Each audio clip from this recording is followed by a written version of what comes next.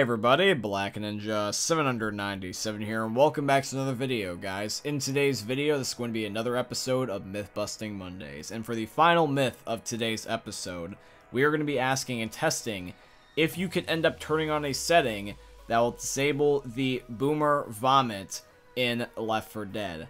And that's going to be very interesting because if you can figure out a way to remove the vomit effect from the boomer in Left 4 Dead, this is going to be auto-applied, guaranteed, and will break the game.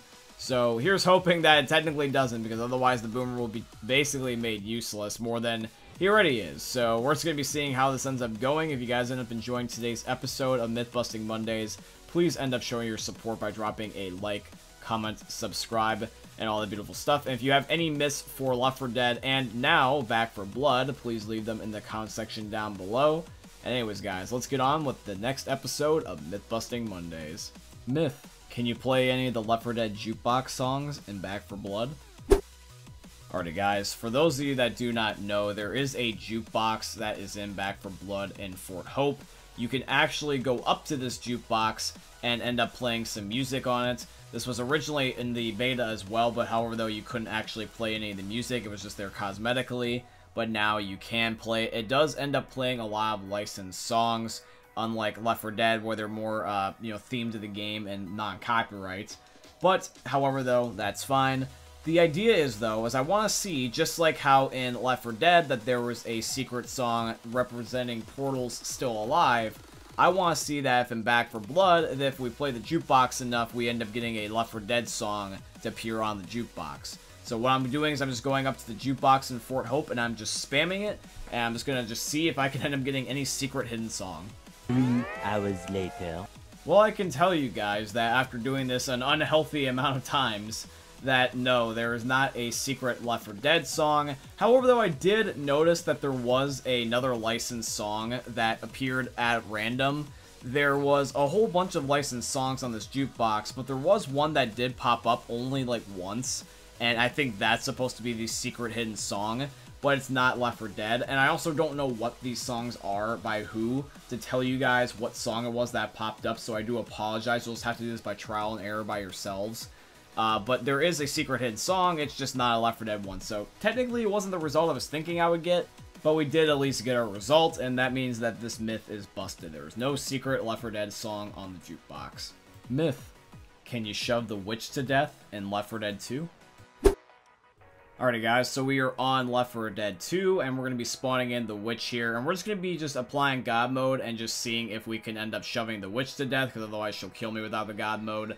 But I'm curious, because I did a myth very similar to this. In fact, the very first ever myth we ever did on Myth Busting Mondays was doing this exact same thing, but to the tank, and the tank we could not shove to death. Certain infected you can, like the hunter and stuff like that, but you can't do it to the tank. So now we're going to be seeing if you can end up doing it to the witch. So we're just going to be just going up to her and just smacking her repeatedly, repeatedly, repeatedly, and just seeing after a while if she ends up dying or giving in. Three hours later. So, just like the last myth, I ended up doing this for an unhealthy amount of time, and no, you cannot end up meleeing the witch to death. Unfortunately, what just happens is that the game just does not register it as a melee. I'm very confident in my opinion when I say that. I don't think that it was a lack of melees, which is the reason why I got the result I did. I just think that the game was not meant to be working in that sort of way. And you can see that I did put in the effort. I mean, there's enough blood in this room that looks like that there was a clown orgy while the clown had hemorrhoids. I just doubt that this is going to give you guys different results if you melee a little bit longer than I did. So for today's myth on the witch, this myth is busted. Myth. Can you blow up the crows and Back 4 Blood to prevent them from alerting a horde? Alrighty guys, so in Back 4 Blood, one of the ways that you can end up blowing up zombies really, really quickly is by using the frag grenade, which is my personal favorite piece of equipment in the game, and I always end up rocking one. Now, however, though, when it comes to Back 4 Blood, one of the things I don't like is the amount of crows that are everywhere, specifically on the very first map, Evansburg, because it always seems to feel that there's way too many of them, and they get in the way a lot, especially right before the safe room. So what I want to do is I want to throw a frag grenade at them, and just off of a hunch assume that the frag grenade will function like it would in real life, where it would just evaporate the crows, and end up seeing if we can end up destroying them with it, so that way they don't end up alerting the horde, because if you do anything else in the game, such as walk near them or shoot them, they will end up getting angry, and then they will end up making the zombies come to you. So we're going to be testing this theory out, and I hope that this works because this would be really, really great and change the meta, in my opinion. Of course, the one time I want there to be crows, there's only a select few of them. So there's a pair of crows down here, and what I'm going to do is I'm just going to get my frag grenade ready, and let's just see what happens. So let's throw it. Ready, and go. Alright, well, I just see smoke for right now. I just see the blast radius. And, yep, there's no more crows. There's no more horde either. Uh, there's just a big pile of blood. So, yeah, you can indeed end up blowing up the crows with a frag grenade in Back 4 Blood. This is definitely a way you can end up avoiding these zombies now if you really want to. So this myth is confirmed, ladies and gentlemen, and it looks like it's a pretty good strat. Myth. Can you defeat the tanks at the end of the sacrifice? Alrighty guys, so we have loaded up into the end of the sacrifice here. We are on the very last step of the finale. I have God mode and unlimited ammo, and I have the bots here with me. And I'm just going to be lasering the tanks, and I just want to see if we can even kill them. I've never done this before, and I just am curious, can you even physically kill them? Because they should just function like normal tanks, it's just that there's a lot of them. But normally, people just end up trying to complete the finale the legitimate way, but I want to be a weirdo and just see if you can end up killing them. I'm pretty sure this has been done somewhere before, but I personally haven't done it, so I just want to see what happens.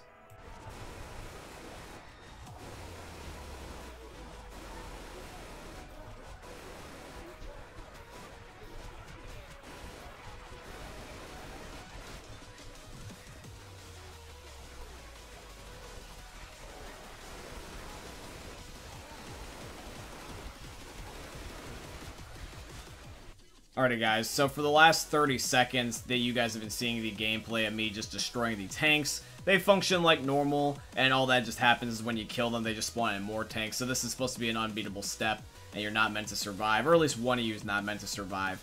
But I was just curious for my own self-amusement that I thought I would put it in Mythbusting Monday, so I hope you guys ended up enjoying this myth. So technically it's confirmed, but it really wasn't meant to achieve anything, it was just for funsies. Alrighty, ladies and gentlemen, now finally, for our last myth, we are getting to the Boomer myth. This is going to be the myth. Can you end up disabling the Boomer Vomit effect in Left 4 Dead?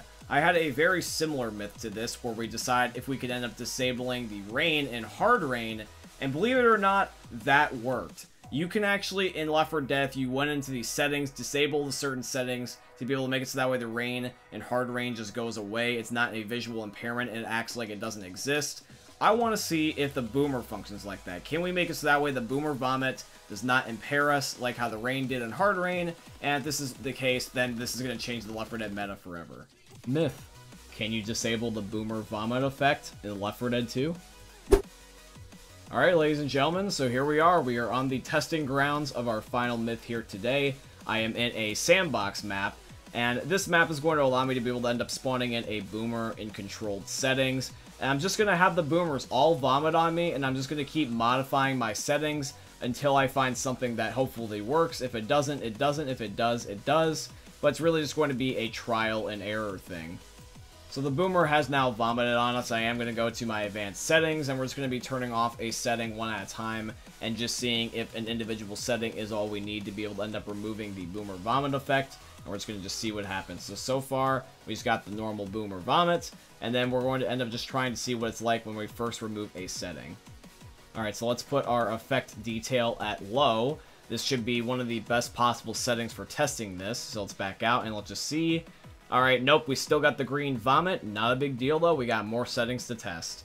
This would probably be our next best candidate, which is going to end up being these shaders. And keep in mind, I also already did end up turning down my film grain because I just naturally do that by default. So I think that having the film grain also down is going to be a bonus to this. Now, this so far doesn't really seem like it makes a difference, but if you take a look closely, the vomit was more of a dark green, so we're getting close to modifying it. Really, the last thing I can think that would end up changing the graphics is by just changing my filtering mode, uh, because this will make it just a completely different filtering mode than what I normally use. So I'm curious if this does anything, because if this doesn't do anything, I don't know what else will, because the other ones are mostly about just changing your borders and changing to like borderless windowed and stuff like that. And it doesn't look like it does. Unfortunately, it looks like that. It just leaves it the stereotypical green color. The closest we got was when we end up changing the green from like light green to dark green, but that's really not much of a big difference. So yeah, guys, this myth is busted. I am almost 100% sure that this was to be expected because Valve is trying to end up making it where you can't break their game, unlike some people I know, such as Activision with Call of Duty. So when it comes to Left 4 Dead and the Boomer Vomit, you cannot disable it. It is built into the game and is something else that you have to turn on or off, but we do not have access to it. So sadly, you can't end up cheesing the game, but that's probably for the best at the end of the day. So yeah, guys, that's going to be it for today's episode of Myth-Busting Mondays. I do hope you end up enjoying seeing both the Left 4 Dead and the Back 4 Blood myths in today's episode. And you guys want to see more Myth-Busting Mondays or your own myths featured in a episode in the future, please not only leave a like, but also leave a like, comment, subscribe, and all that beautiful stuff. If you would like to financially support the channel, I would definitely appreciate if you guys could go check out my Patreon. It's always linked down below in all my YouTube video descriptions.